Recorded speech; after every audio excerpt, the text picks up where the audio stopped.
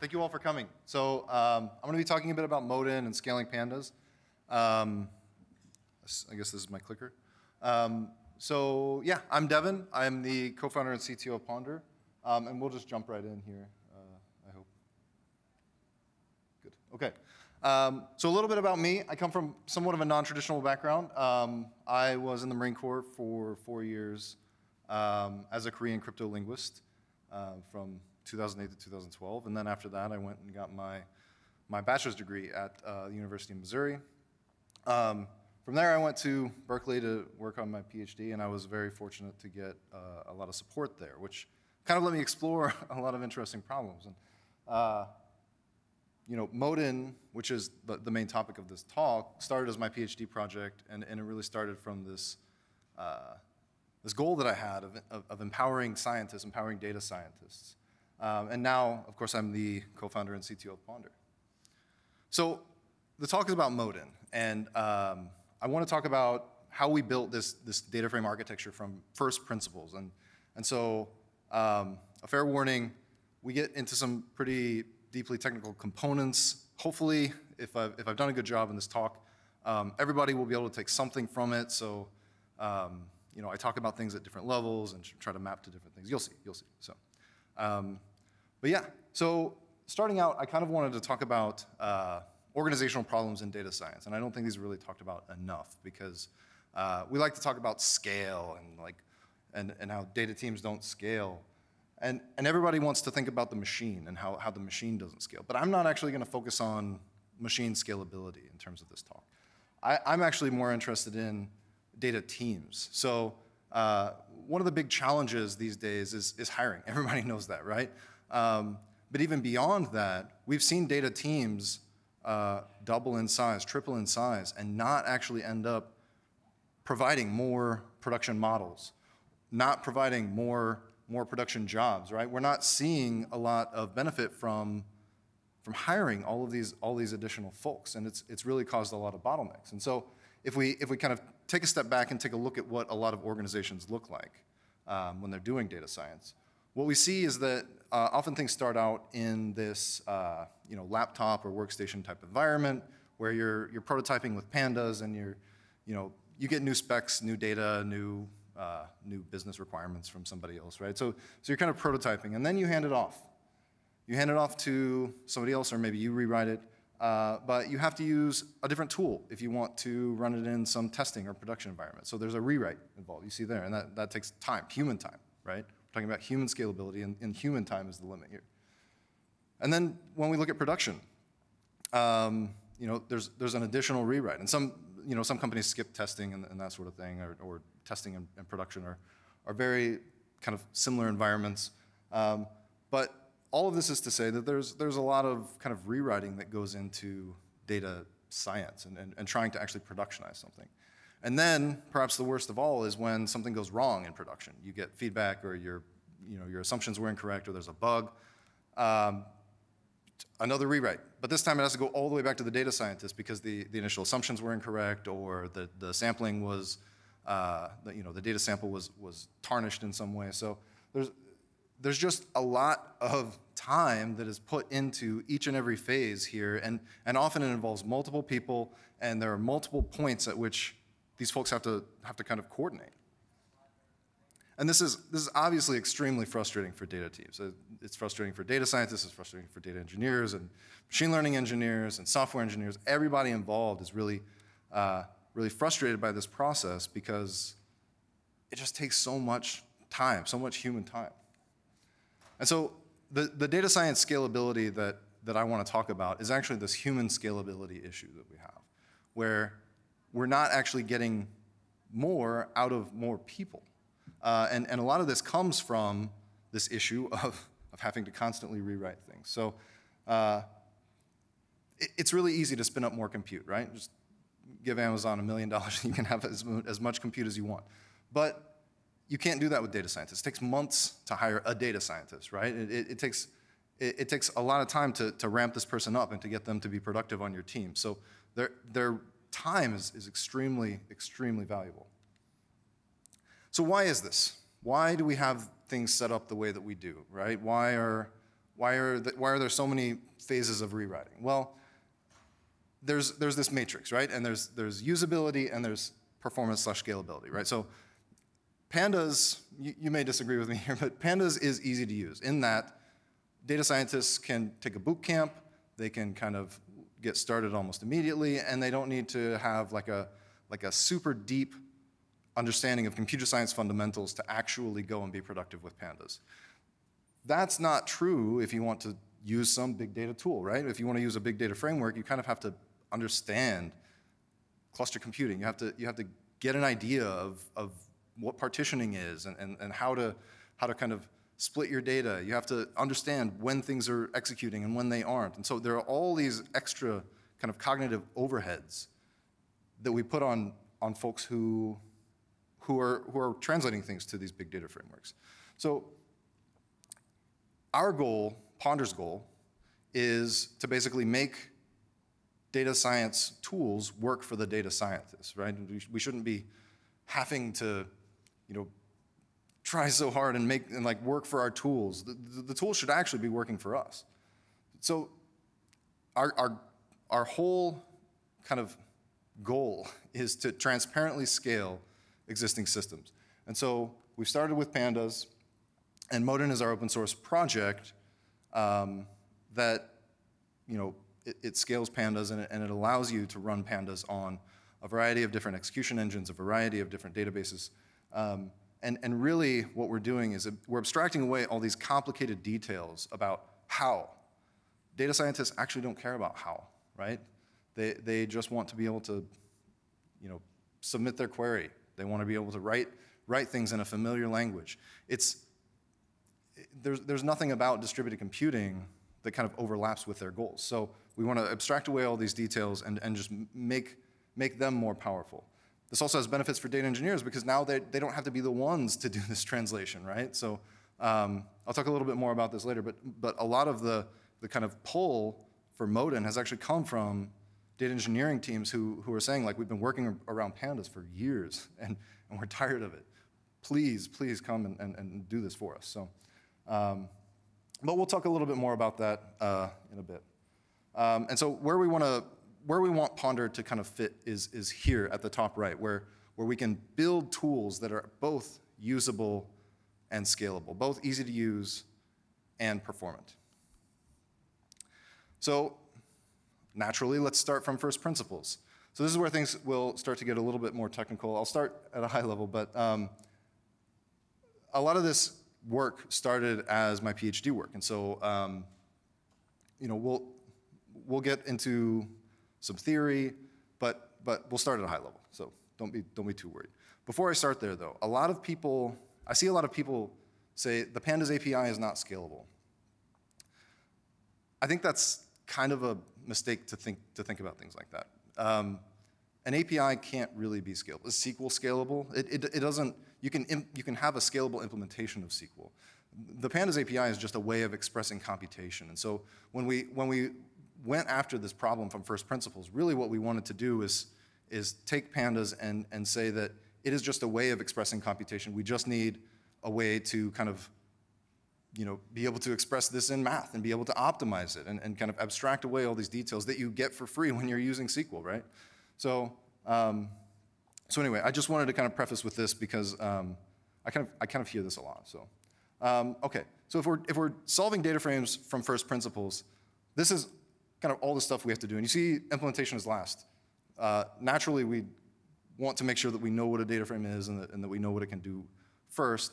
Um, but we'll walk through these. I'm, I'm, uh, I'm not going to stick on this slide too long. So the first thing that we did was we formalized the data frame.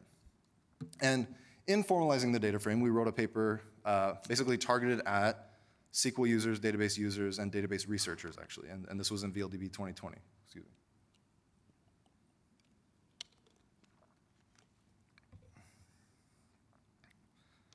Okay.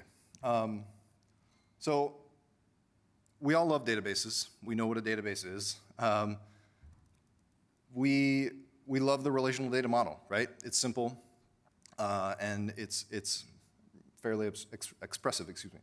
Um, I'm going to draw an analogy here to kind of restaurants. Um, so if we think about a relational database, we can really think about it as kind of a Michelin star restaurant where it has a uh, dress code. You can't just go in wearing what you want. You, you have a, a highly curated menu with a very select set of things that you can do, and it's highly optimized and, and does a, an excellent job at what it does, right? A Michelin star restaurant, um, you know, is, is highly tuned food for uh, a, a subset of the menu. Now, if we look at pandas, pandas is a lot more like a food court, if you will. So it's a different data model, different APIs. Um, there are over 600 APIs, and, and I'll get more into the details about like how, how we actually derive the data model in a little bit. But pandas, like I mentioned, is like a food court where there is no dress code. You can kind of do whatever you want. You can do something even a little bit unnatural, like get sushi and french fries together. So there's, there's no rules, effectively, to what you can do within the confines of, of that food court. So if we, if we kind of directly compare the relational database to a pandas data frame, um, on the kind of convenience side, what we have is we have this query, this, this difference in how you actually express queries. So in SQL, you, of course, it's all or nothing. You kind of express your whole query up front, whereas with pandas, you're kind of incrementally building your query over time. Um, there's also a, a, very strict schema that's enforced on the data. So you cannot, uh, you, you have to know the schema up front, and the schema is actually defined first. It's defined before you can even put any data into the database. In pandas, this is not the case. In pandas, you don't need to define a schema up front. It will actually infer the schema for you. It will determine the schema for you. Um, and then lastly, versatility. Um, pandas also kind of has an advantage here um, because really what you can do with SQL is select from where group by join, right? So um, pandas has a very expressive language, over 600 functions of things that you can do. Um, now, this might sound like I'm telling you all to go use pandas. if you don't like pandas, uh, you do not have to use pandas, trust me. But uh, there's a reason why people use pandas, and we will never get people to stop using pandas. So the best thing that we can do is try to rebuild this thing from the ground up. Naturally, everybody loves pandas, like I was mentioning. Um, so it's, it's often described as the reason for, for Python's popularity, the reason for Python's support. And it kind of was inherited over time. It, it, it was built in, in the community by a, by a large community. Um, so uh, for those of you who are kind of like computer science history buffs, uh, data, data, frames actually first emerged in S, which was, which was uh, a language that was created in Bell Labs, and then um, R is the open source version of S. Um, you know, these are kind of a little bit more refined languages uh, for, for operating on the data frame. And then pandas, of course, kind of just went wild with trying to implement as many useful things as possible. Um, and, and I think that that really has contributed a lot to its success.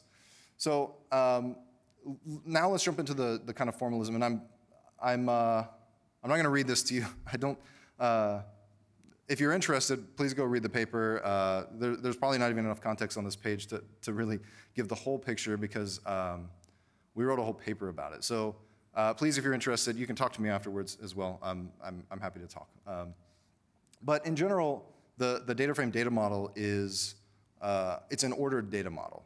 Um, so what that means is that it's, it's not necessarily sorted by any individual column or key, uh, there is some kind of a semantic order to, to the data frame. It, and, and that order is actually used often in, in things like window functions and um, even in just debugging and, and, and, printing out the data frame, the, the first five lines, right? Um, you know, this, this speaks to the kind of quick iteration that people, that people use pandas for. So um, there's also no predefined schema necessary. Uh, this is another big difference from from relational databases, you, you can induce the schema and infer the schema at, at runtime effectively. So um, that kind of explains why it emerged in like R and, and Python, which have runtime type errors that you know don't really pop up in, in compiled languages. So, um, so there's also this, this idea of named rows and columns. Um, you know, named rows and columns are, are useful for, you know, moving metadata to data and data to metadata. Um, this row names has like traditionally been a kind of a controversial thing, but I, I don't think that row names are really, uh, you know, that special. It's just like a column that you can do a select statement on. It's, it's, it's not really all that, all that tricky. Um, and then there's also, you know, indexing by label or by name, so positional notation. Um, and that's where the order kind of comes from. So you can, I'm so clumsy, I'm sorry. Um, I knew this was gonna happen too, okay. I'm gonna put the cap back on. All right, all right, all right. Um, so, uh, so grabbing the kth row actually uh, means something, right? Or grabbing the first k rows actually means something. There's a, um, yeah, so, um, and then of course there's name notation, which is, uh, you know, indexing by that row's name or that column's name.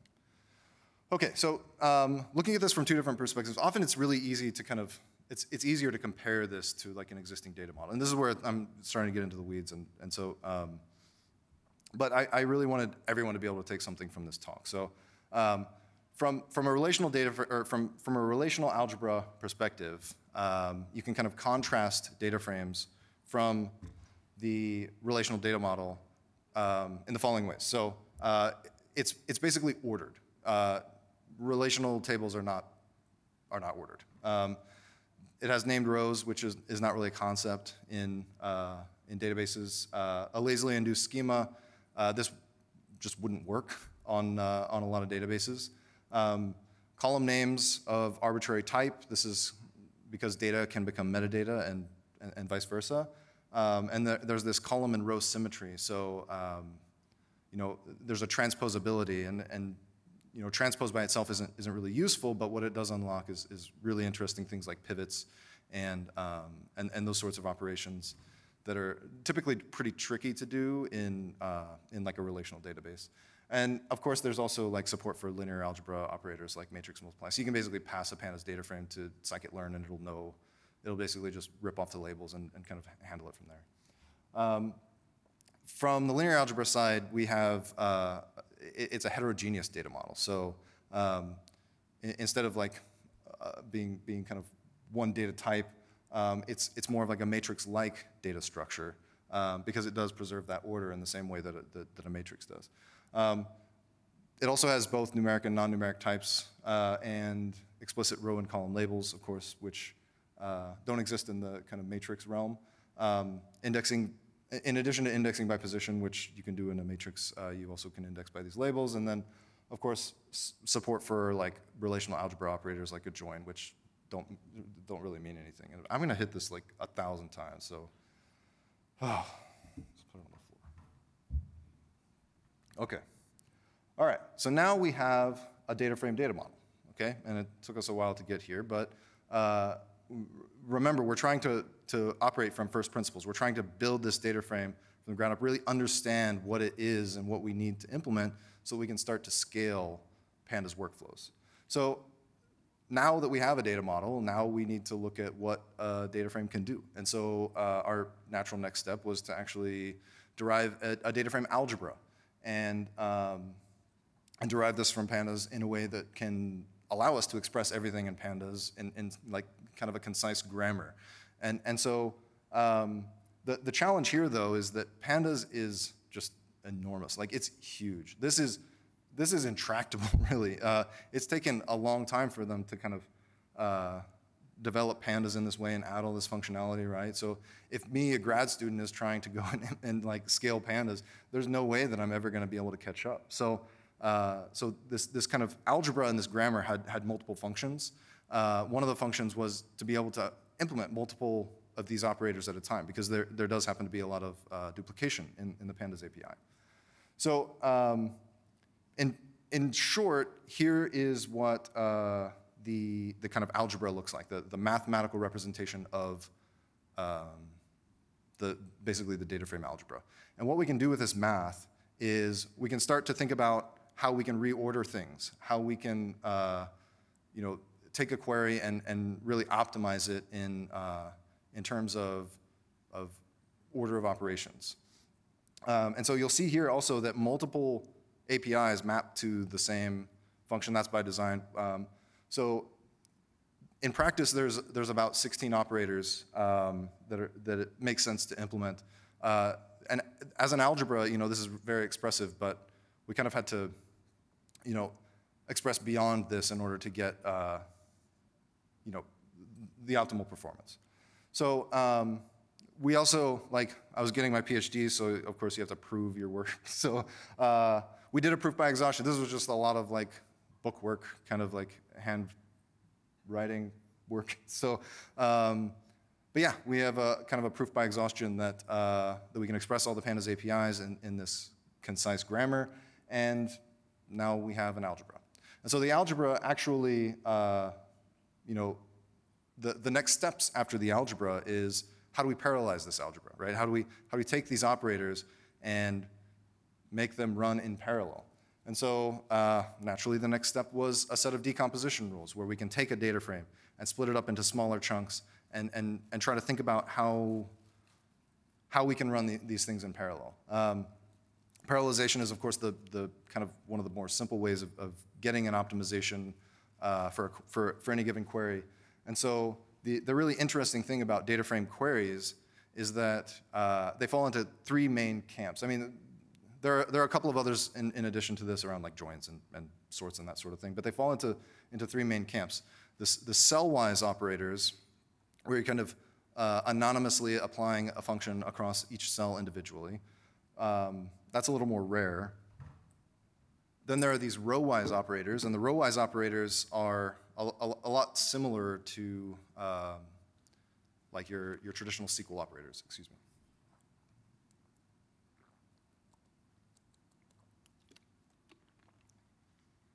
Okay, and then, um, of course, column-wise. Excuse me.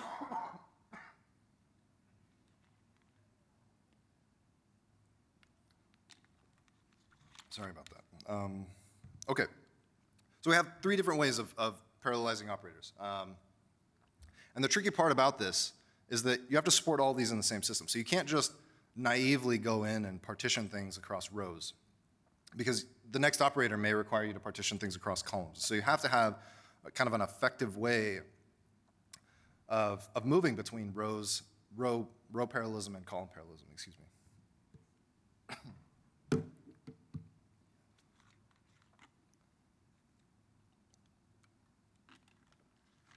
So I promise I'm not trying to pad the runtime or anything of this talk. Uh, this always seems to happen to me. Um, okay, and then, of course, the type system. I'm not going to go into the details of these things, but we, we developed the type system and, and, and defined the order semantics of, of, every operator that we, that we have in the, in the algebra. And so now we have enough to kind of go and build an implementation. So since we have all this knowledge about what a data frame is, what a data frame can do, how we can parallelize this, how we can translate pandas down to this to this algebra. We have all of this knowledge now, so now we can actually go and implement something. And so Modin is that implementation. Modin is the implementation that we, that we built uh, from first principles.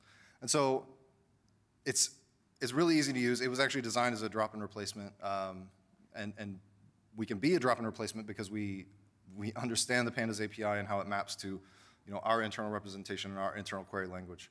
So um, it's really easy to use, of course, and it's really, really easy to install. Uh, those are the, the two biggest challenges to getting people to use your stuff, so we wanted to make that as easy as possible. Um, and so we, I spent a lot of time on this formalism, and, and hopefully you all take away something from that, but um, what I wanted to point out here is that there, we get a lot from that formalism, right? We get, we get a lot from understanding the data model. Pandas Pandas has a certain feel to it that's hard to, to kind of mimic. Um, and so with this formalism, we can, we can get that feeling that you get from Pandas where you're really kind of controlling the data, but we don't have to bring along all the baggage of like having the, the physical implementation or the, having the physical order match the, logical order, the user's preferred order, right? We can, we can decouple a lot of these things that, that are tightly coupled in pandas because we, because we have a good understanding of the data model, and because we spent a lot of this time on kind of drilling down and actually getting to the core of what a data frame is. Um, and on the algebra side, you know, of course, there's a smaller surface to implement. I think that's, uh, that's a given, and I, and I already mentioned that. But another really interesting thing that we, that we can do is we can actually map these operators to other systems that have an implementation, like a, like a relational database, for example. And so uh, what we're building at Ponder is this idea of pandas on everything. Uh, and we can, we can express these pandas queries in our low-level programming language, uh, in our low-level algebra language, and then we can, we can either directly implement them on, uh, excuse we can either directly implement them on a, uh, on a compute engine like Ray or Dask, we can, we can map them or push down queries to a database, for example. And so we get a lot of, a lot of power from, from having this algebra because we can, we can actually express it in a variety of different languages. And so if you recall that this is how a lot of organizations look with all of the rewrites and all of the time, how Modin is actually being used in practice is basically as this, this one layer where you implement things, you have that one API, and then everybody, we, we just basically, you, you flip a switch and it's automatically distributing your code underneath the hood. And so, you know, with this, we've had a tremendous impact, and I, I feel very fortunate that we have such a such a strong community. Um, you know, we've it's it's really grown, and it, it started as my PhD project, so I, I feel very fortunate that I, I picked a uh, I picked a, a challenging project, but, but also that I was able to, you know, build this community. Um, yeah, and so, um, yeah, if you're a user of Modin, I'd love to hear from you. Um, so I wanted to talk, I wanted to kind of drill down on a couple of case studies um, that, that kind of come from our community. Um, and one of them is this, uh, this e-commerce company that um, basically everybody runs into pandas problems at, at some point, right? And so um, these folks were able to basically uh, drop in Modin, just replace the import statement, and process 1,000x the data faster than they were with pandas. Um, so um, tremendous results. They were very happy, and it kind of unblocked a lot of their uh, a lot of their internal processes, and and kind of yeah, I mean they were they were happy. um, there's also another, another interesting use case that's kind of emerged where um, companies migrating from one system to another uh, have kind of started adopting Modin um, to, to help with that process. So if, if so Modin can basically uh, push queries down to, to both of these systems. So it's just a matter of switching a knob in, in Modin um, when you want to migrate rather than having to spend you know, thousands of human hours rewriting every script to make sure that it's pointing at the right data source and that sort of thing. So, um, so we, we've had some, uh, some, some pretty good success with um, you know, folks just dropping Modin in and, and having it just kind of alleviate a lot of their problems. Um, and so the, the last thing that I kind of want to highlight is uh, another interesting thing is that a lot of folks are like bringing their own database, their own SQL layer or, or, or something like that, and um, kind of plugging it in underneath of Modin. Weave, and have folks who, um, who are bringing in graph database. So like to have a pandas run on top of their graph database. So um, if, you, if you are one of these folks, talk to me, please. Um, I, would love to hear from you. Um, but, but yeah, that's, uh, that's another really interesting use case because you know, it, it kind of unlocks the pandas user group um, you know, for your database. Okay, so um, this is this has been great. I really appreciate all your attention. Um, I spent a lot of time on formalism and I got pretty deeply technical, so thank you so much for your attention. I don't get a lot of opportunity to kind of talk about my PhD work and, and that sort of thing, and I, and I, hope you all took something away from it. Um, so we built this, this system, Modin, and we, and we did it by trying to kind of rethink the data frame. It's, it's always very tempting to kind of try to chip away at, at kind of the, the things that we know how to parallelize well or try to, you know, only focus on a subset or say that pandas is bad, but pandas isn't going anywhere. And so, you know, what we, what we really sought to do is kind of take this pandas community and just empower them and, and, and not tell them that they're wrong, not tell them that they need to change.